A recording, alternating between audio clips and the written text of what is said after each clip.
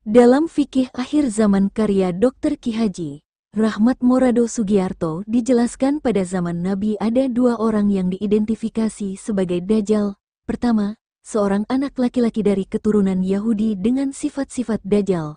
Kedua ialah sosok yang ditemui dalam kisah Tamim Ad-Da'ari.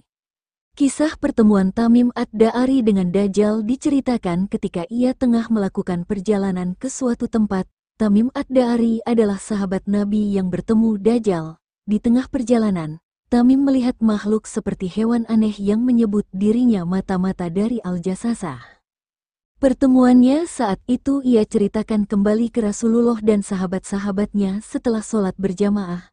Rasulullah pun bersabda, Demi Allah, sebenarnya aku mengumpulkan kalian bukan lantaran untuk memberi kabar gembira atau sedih.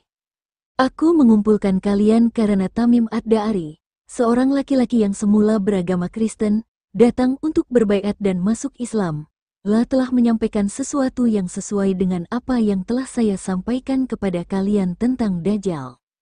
Mahmud Rayab Hamadi dalam buku Tanda-Tanda Kiamat disebutkan bahwa di tempat tersebut ketika mereka bertemu Dajjal, Dajjal bertanya kepada mereka dan mereka bertanya kepada Dajjal, saat itu Dajjal terbelenggu besi dan memberitahukan mereka tentang waktu kemunculannya beserta tanda-tandanya.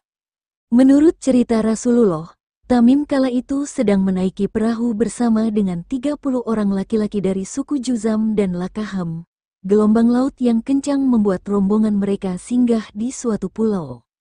Ketika menepi, di pulau tersebut mereka bertemu makhluk yang berbulu lebat.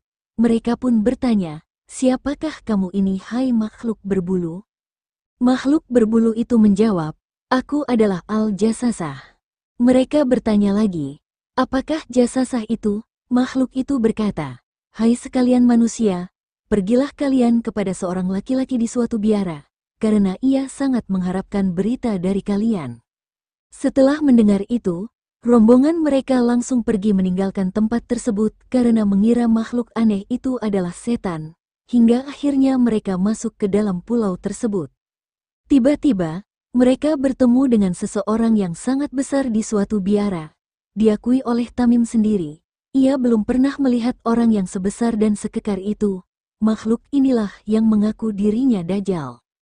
Kedua tangan orang tersebut terbelenggu pada lehernya dan kedua kakinya dirantai dengan besi antara kedua lutut hingga kedua mata kakinya.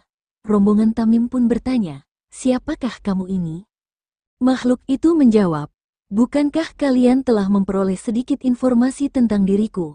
Maka sekarang beritahukanlah kepadaku siapakah kalian sebenarnya. Tamim dan kawanannya menjawab, kami adalah orang-orang yang berasal dari Arab. Kami berlayar mengarungi laut dengan perahu. Kemudian kami terbawa ke tengah laut pada saat gelombang laut mulai membesar. Mereka pun menceritakan pertemuan dengan hewan aneh tersebut pada si makhluk raksasa.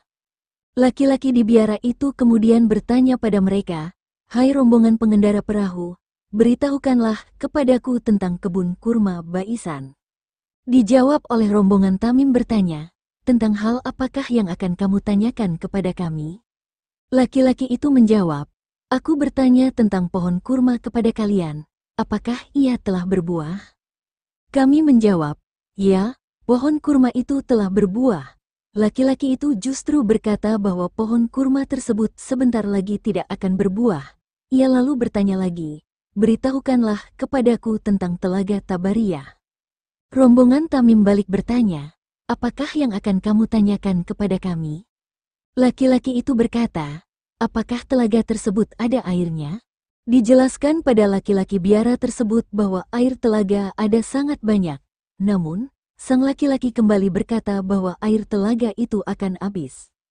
Kemudian laki-laki itu bertanya lagi, Beritahukanlah kepadaku tentang seorang nabi utusan Allah yang umi.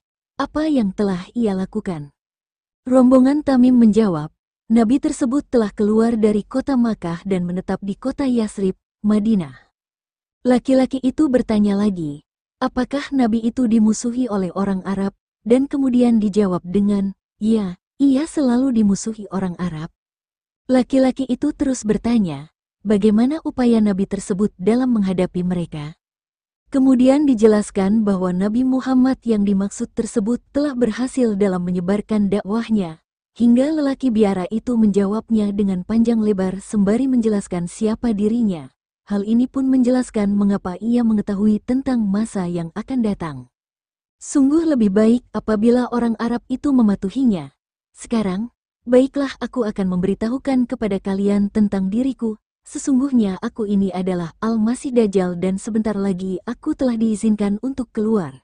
Setelah itu, aku akan menjelajahi dunia hingga tidak ada satu kampung pun yang tidak aku singgahi dalam jangka waktu 40 malam, kecuali kota Makkah dan Taibah, Madinah. Aku dihalangi untuk memasuki kedua kota tersebut, setiap kali aku ingin memasuki salah satunya. Maka ada malaikat yang menghadangku dan siap sedia dengan pedang di tangannya Sementara itu, di setiap penjuru kota Makkah dan Madinah ada beberapa malaikat yang menjaganya.